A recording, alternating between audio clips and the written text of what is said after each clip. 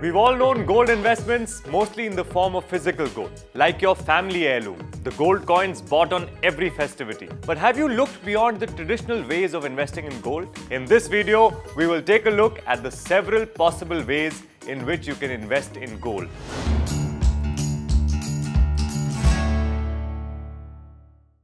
Our love for gold forms a strong foundation for our investment habits. What we can now add to it is the new age forms of gold. Broadly, gold can be held in physical and non-physical forms.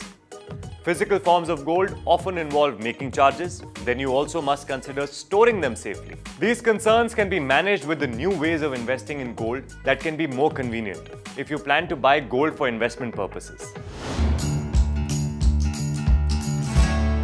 Gold ETFs, gold mutual funds, and digital gold are some of the top new ways in which you can get your own gold without the need to hold it physically. While ETFs and mutual funds follow the spot price of gold, even digital gold is backed by remotely held physical gold. The leading digital gold providers offer high purity gold, generally 99.5% or above. Thus, with a click of a button, you get to own gold, get it stored safely and remotely on your behalf, and also have that 24 karat purity assured.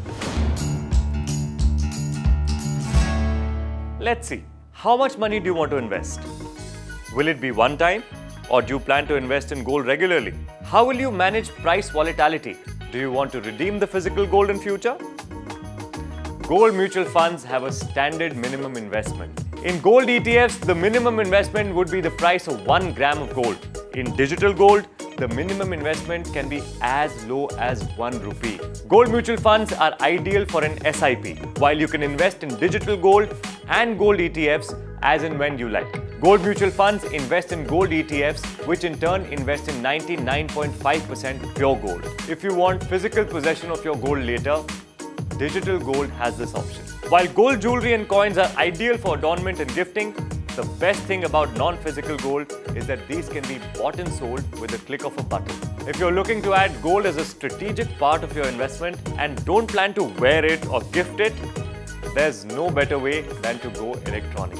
If you like this video, we've got more topics that can guide you through your gold investment making journey. Find more videos from our series Demystifying Gold Investments and know all about investing in